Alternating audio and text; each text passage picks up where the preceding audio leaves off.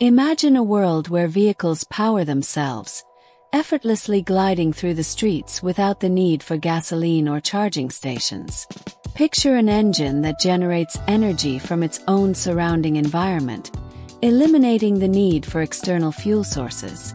This vision of a self-sustaining transportation system is no longer confined to science fiction. It is the growing reality of today's technological innovation. Welcome to the fascinating world of self-powered engines and air engines. Two groundbreaking concepts that are set to revolutionize the way we think about energy and propulsion.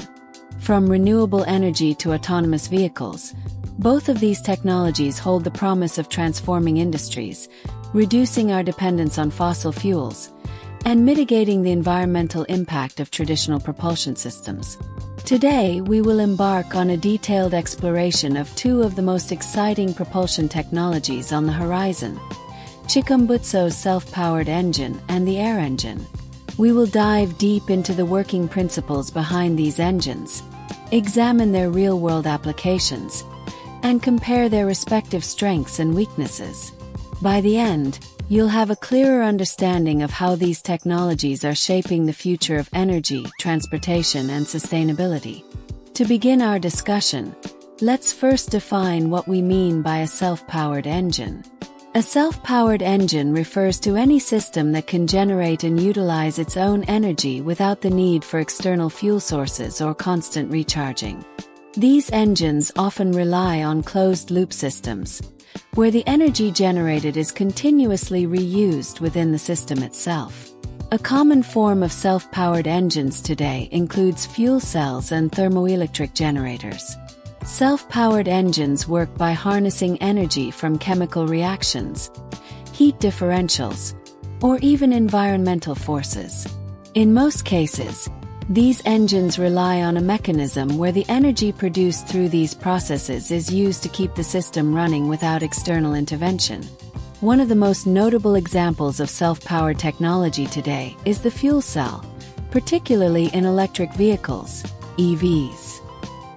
Fuel cells generate electricity through an electrochemical reaction, typically between hydrogen and oxygen, producing water as the only byproduct. The key here is that these cells can produce energy continuously as long as hydrogen is available, without needing to be recharged in the conventional sense, as batteries do.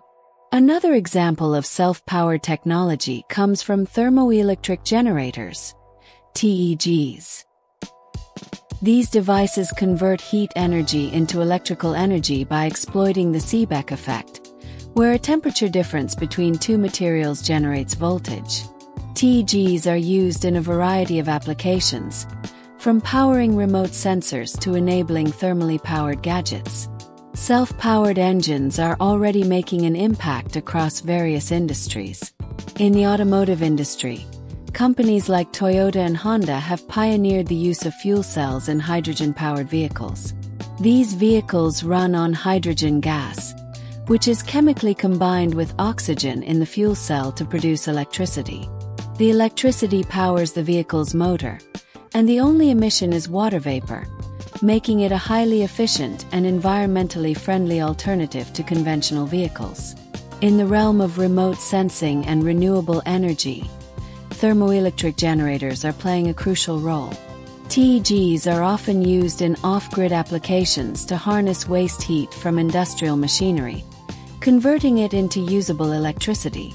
This technology is particularly valuable in remote locations where access to conventional power sources is limited. Despite their promise, self-powered engines are not without their challenges. One major limitation is the issue of energy density.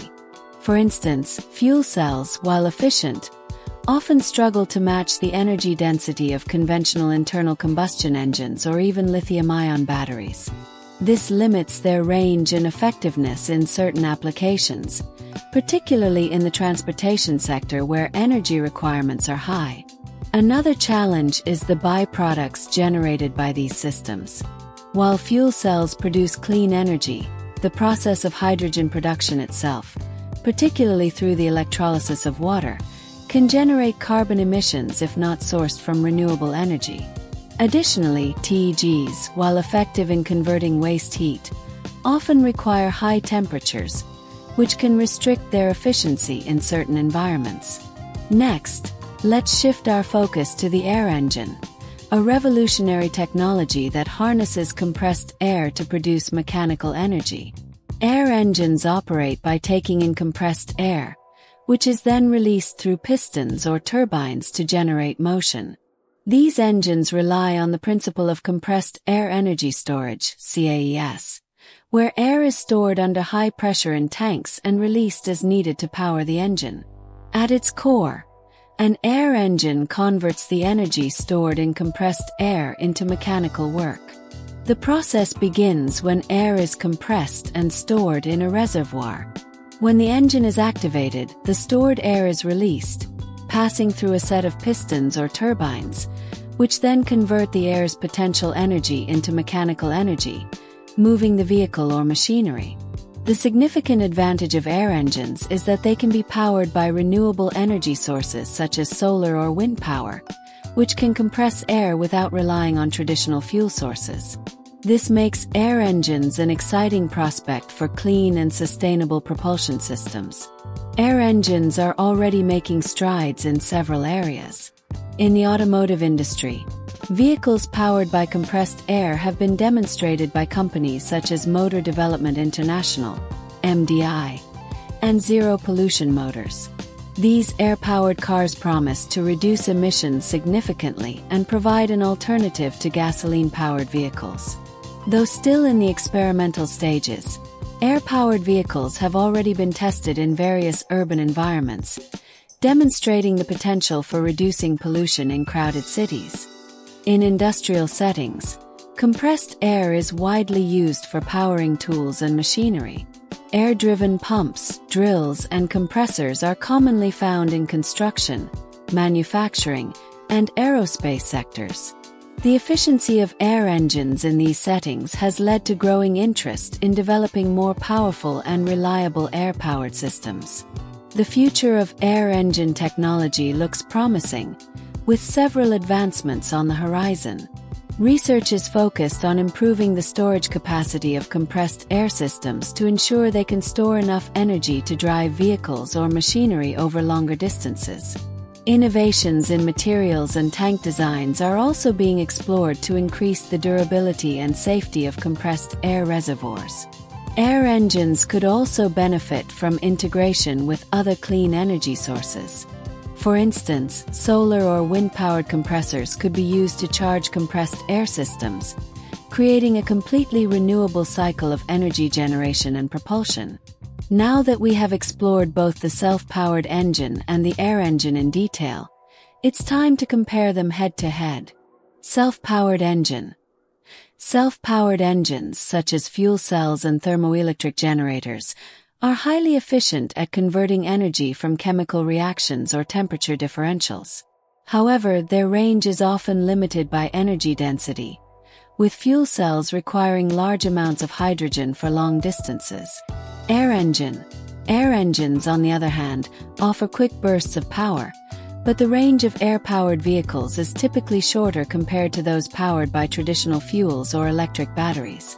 The energy density of compressed air is lower, meaning air-powered vehicles may require frequent recharging or refueling. Self-powered engine. Self-powered engines, particularly those using hydrogen fuel cells, are among the most environmentally friendly options available. They produce minimal emissions, often just water vapor. However, the challenge lies in the production of hydrogen itself, which can still have an environmental impact if not sourced sustainably. Air engine. Air engines have a clear advantage when it comes to environmental impact. As they operate using compressed air, the only byproduct is typically noise or heat, which can be minimized with proper engineering. Air engines do not generate harmful emissions, making them an ideal choice for environmentally conscious transportation solutions. Self-powered engine. These engines are ideal for applications requiring consistent high-energy output over extended periods. They are best suited for vehicles, remote sensing devices, and backup power systems. Air engine. Air engines excel in applications requiring intermittent bursts of power, such as in urban vehicles or industrial machinery. Their ability to work with renewable energy sources makes them a strong contender for sustainable, low-emission transportation solutions. In conclusion, both the self-powered engine and the air engine represent exciting advancements in propulsion technology. While they each have unique strengths and limitations, they offer promising solutions to some of the world's most pressing energy and environmental challenges. The future of propulsion lies in innovation, collaboration, and sustainability. As research continues to advance, both self-powered engines and air engines are likely to play crucial roles in shaping a cleaner, more energy-efficient world. Whether we see self-powered vehicles dominating the highways or air engines revolutionizing urban transportation, the future of propulsion looks incredibly promising. Thank you for joining me in this exploration of self-powered engines and air engines. As always, I encourage you to think critically, stay curious, and continue exploring these fascinating technologies. Please leave your thoughts and questions in the comments below. I'd love to hear your insights.